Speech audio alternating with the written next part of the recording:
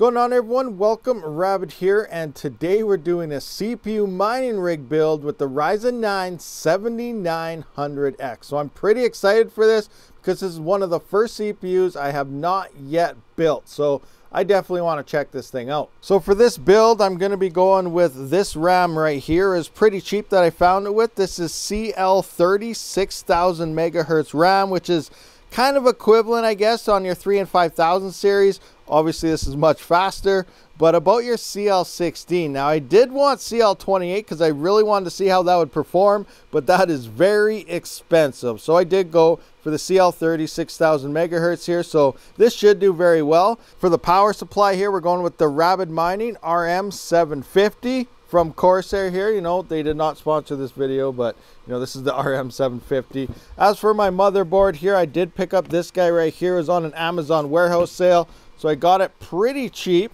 This is the B650M DS3H. Now I only have one, so I actually have two CPUs. I only got one motherboard in, so I'm still waiting on one more motherboard for that. And down here, you can see that I actually got two MSI Gaming Max B450s. So I got everything in except for the RAM and the 5900Xs. So I have another CPU mining rig to build after this. Actually, altogether I got three. So I'm still waiting on two 5900Xs for these two coolers here.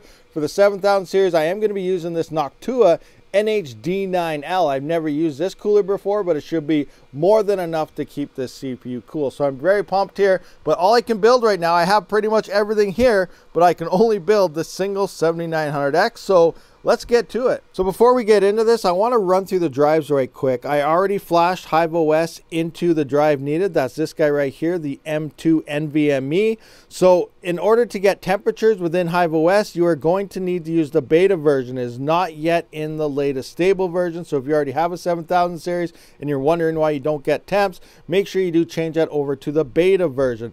As for the drives itself, the Ryzen 7000 series actually uses an NVMe. You can see the difference here has one little notch and the rest is solid here. Where the Ryzen 3000 5000 series use the M2 SSD where you can see there's two little slots in here. So you have a little gap here and a little gap here. And it also requires a different reader. So this is my NVMe drive reader has the one gap. And this one here is your universal for your SSDs, you know, the bigger ones there, and then your M2s here goes right here, and then this is for the micro M2s, or I can't even remember what that one's called. Um, my M SSD or something. Actually, it says right on it here, MSATA SSD. So the MSATA SSD drive here, the M2, which is like this one right here, will all work in this, as well as this attachment here, which then plug into your normal big SSD drives. And then we got our NVMe drive here, this one, which will suit that one. So make sure you get the proper drives for your rig before you even build it. Okay, so I do have this motherboard laid out on some little 3D printed stands as you can see there. And this is only an M-ATX board, so my hand pretty much goes end to end on it. It's a pretty small motherboard here,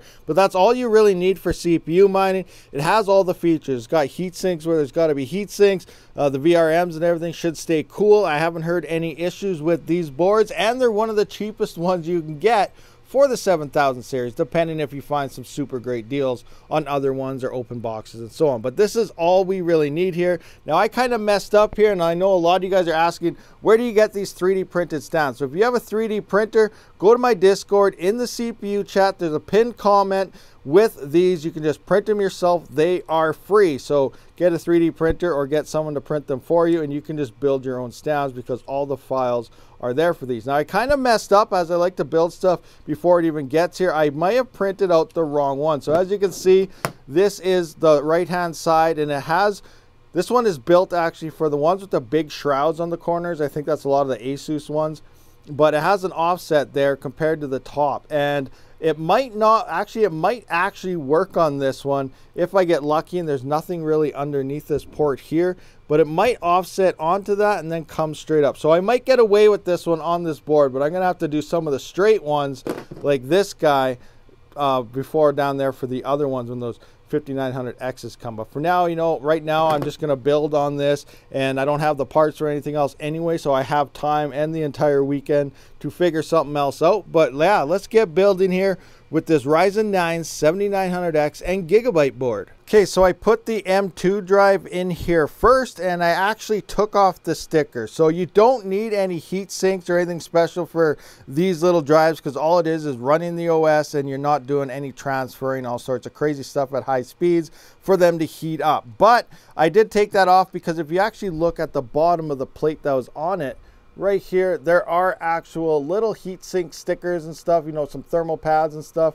So I am going to peel that top one off here place this plate just down on top of it. So it'll make it look nice and clean and it is gonna have its own little heat sink. But again, if you have a motherboard that doesn't have it, that is totally fine because we're not gonna get any crazy heat out of this drive anyway. So there we are, our hard drive is installed and it's very nice and clean looking. You can't even tell that you have a drive in the first place. So if someone sees this later on, they're probably like, hey, uh, where's your hard drive? How are you running this thing? It's hitting right here. All right, so now I'm basically gonna pop the hatch here and install our CPU. So I'm just gonna pull this to the side. Let me get my other hand in there to brace it. It's really light. There we go. Pull this up and now this should just flip on over and get to our CPU like so. Come on, get out of there. There we go. Coming up, coming up. There we go. So there is where our CPU will sit. You do not want to bend any of these pins. On the other case, if you find someone that did bend some pins, you might find a really cheap motherboard. You can bend it back and be 100% okay. Sometimes. All right, there she is. There is our CPU, the Ryzen 9 7900X. Now, this is pretty idiot proof, but always do your own research and look. So here you can see there is an arrow. On your motherboard, you will see an arrow as well up there. You match those up. That is the proper positioning for the CPU. Okay, so our CPU is in place. You can see the two arrows there are matched up in the top left corner depending which way you're looking at it. And it also has these little clips right about here that lock into place as well. So, you know, there's a lot of ways to tell you don't put it that way put it this way. And you know you really have to mess things up to put this thing in backwards. So now that our cpu is in it's in tight and we know it's all in the grooves and everything we got to lock it down. Now in previous 3 and 5000 series it didn't have this plastic cap. This is an intel thing and sometimes if you forgot to take this out you would crush your cpu and bend all the pins. In this case it looks like you can just put this down and that cap will pop off all on its own. So now we're just going to simply lock this thing down here by simply pushing down, get this thing over top of it like so. And then we're going to clamp it in and this should pop off. So let's see what happens here. And bam, you can see it popped off a bit. Now we just got to push that in and under and pull this off. So there we go. Our CPU is now installed in there nice and tight and locked in. We got to get that cooler in. Depending on the cooler you do choose to build with, you may have to put in your RAM before you put in your cooler. In this case, we don't have nothing major and huge here, so I should be okay by installing that cooler. All right, so the cooler I chose here was the NH-D9L. Now all you have to do is say Noctua, and that pretty much says everything that needs to be said about this cooler. All right, so inside of the cooler's kit here, we can see two sides, an AMD side and an Intel side. Now, obviously, we're going with AMD here. There's only a couple things we really got to do very fast and easy.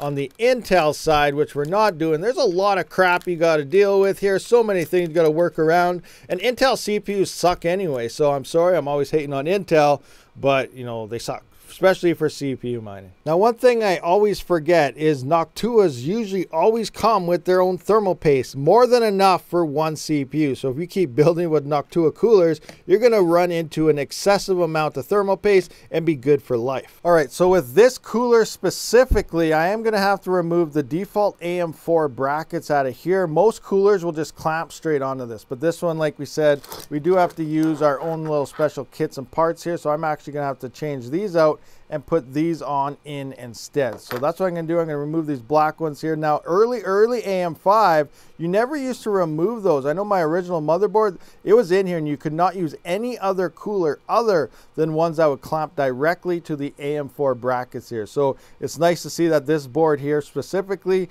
you can move those out and adjust it and this cooler will work in this case. So now that the default AM4 brackets are off, we got these little shims here, risers I say, and then we're just going to put them on each one of these like so. So this will be going at the bottom and the new brackets will be sitting on top of it. I'm just going to put all four of these ones on. One right there, one right there, and this guy right there. So now we're going to angle these into it this way like so. Okay, so before we put on our cooler, we're gonna need some thermal paste. So uh, like I said earlier, this did come with, come on, focus. There we go. This did come with the Noctua thermal paste right here, but I'm not gonna use it. I'm gonna try something new. So right here, I do have some Honeywell thermal pad type of stuff. It is a huge sheet as you can see right here and I'm just gonna cut a square out of it and kind of put it on here. So you gotta peel the ball, you're gonna cut it out, peel the bottom and then put it on and then peel the top off and we'll just go from there and see how well it works. So it does sound like over time though, uh, you know, maybe a week, two weeks, I'm not 100% sure. I've never used it. As it evaporates some of the stuff out of there when the things, are, when the cooler and everything is warm, it's gonna start running cooler and cooler temps on your CPU. Is it gonna work? I have no idea. I haven't tried it, but I think this is gonna be a nice little test to see if this actually works. Okay, so I cut off a little trapezoid here. Everything is still on, it's not done. It still has the plastic or whatever on both sides.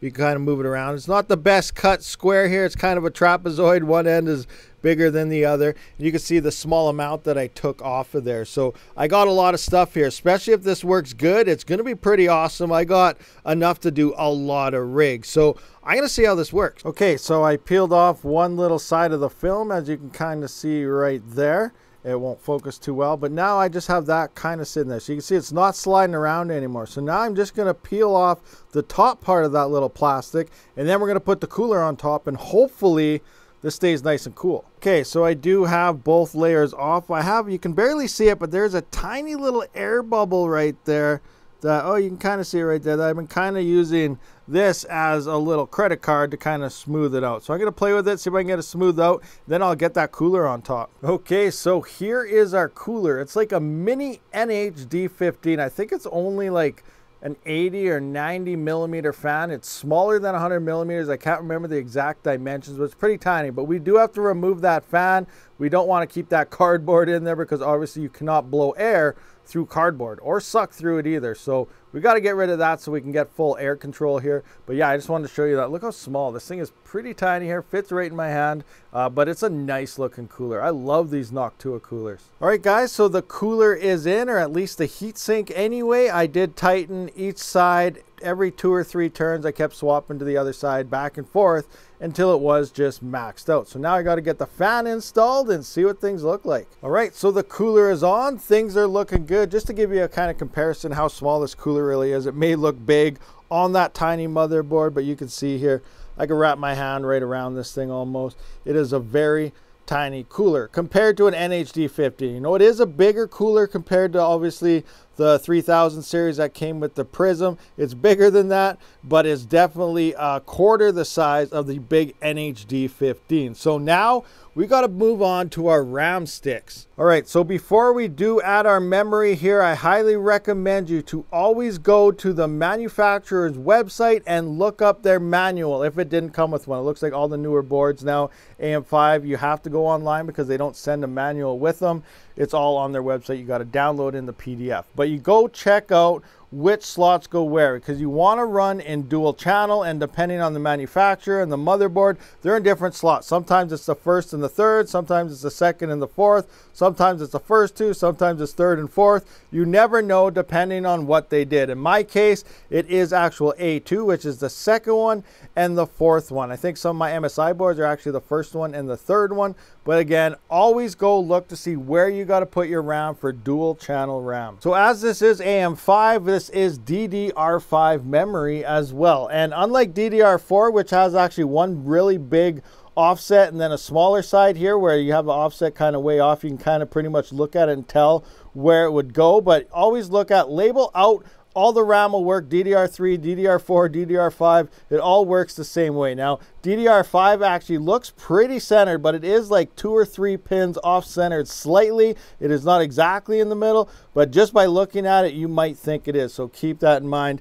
And again, just a reference here, this is CL30 6000 megahertz RAM, which I'm assuming is about equal to CL16. There is CL28 RAM, but it is very expensive as this is still the latest gen in memory. Okay guys, so our rig is pretty much built here. All we got to do is put in the power and plug it in. Now another big advantage about the 7000 series over the 3 and 5000 is you do not need a GPU. These CPUs actually have integrated graphics, so we can plug this thing straight in and not have to worry about setting up that thing majigger over here like we do with the 3 and 5000 for tweaking. Okay, so we're pretty much all ready to go. I got the power hooked up here and you can see side by side how the size is. Like this is almost slightly bigger than this power supply itself. So it's a nice small compact rig here. All we need for power is the 24 pin and the CPU power. That is it. Now, when I do get my other one in, it's exact same identical rig to this one right here. When the rest of the parts come in and I build that, I will have to bring in another CPU power cable just for that. But then I will be running 24 pin splitters and running both rigs off this one power supply. So that's for another time and another video when that comes in. But here we go. We are pretty much ready to roll, set up. I got to plug this in, put in the power switch here so we can turn it on because we haven't done any BIOS settings yet. So it's not going to turn on by itself. Maybe we'll get lucky and it will. I'm going to try it out first actually. But we're going to have to put in that power cable if we need to. Get into the BIOS, take a look at things, and boot her up into Hive OS. Okay, here is the moment of truth, which can sometimes suck, but usually I'm at about a 99.9% success rate. So we're going to turn on the power supply. It did not turn on. We're going to hit the power switch and see if this starts.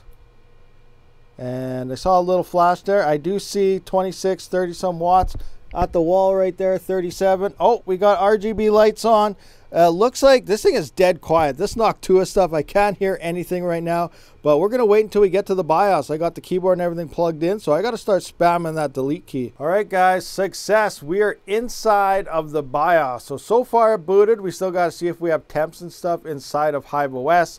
Things are looking pretty nice on this rig right now. It is dead silent with this Noctua cooler here. But we got to see if that thermal paste and stuff works. So I'm not going to be doing any crazy testing or anything in this video, but I do want to set it to the base clock. And in this thing is about a 4.7 gigahertz base clock. So I just want to go in, put it to 4.7, run it at about 0.97 volts, see if it'll boot, and then just see what happens from there. All right, so I got it set here. You can see 47, which is 4.7 gigahertz. Now on the RAM, I have the option to overclock here in the default profiles of XMP or Expo. Now the RAM on the box says XMP Intel certified, which is Intel that did create XMP, and Intel is the Expo One. So I'm going to try Expo One because this is an AMD system, even though the RAM is XMP. I just want to see if it boots. All right, guys, so we are in Hive OS. The temps are currently 52 degrees. I am on Raptoreum, which isn't too CPU heavy, but I wanted to make sure everything was working. So here you can see we have some hash rates here, 52 degrees,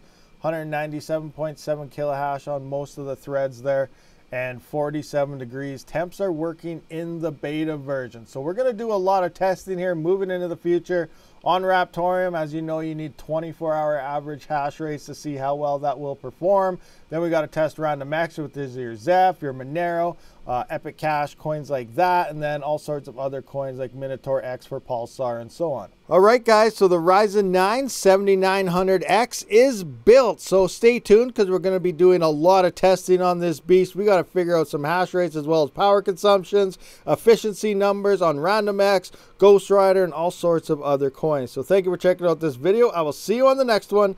Rabid out.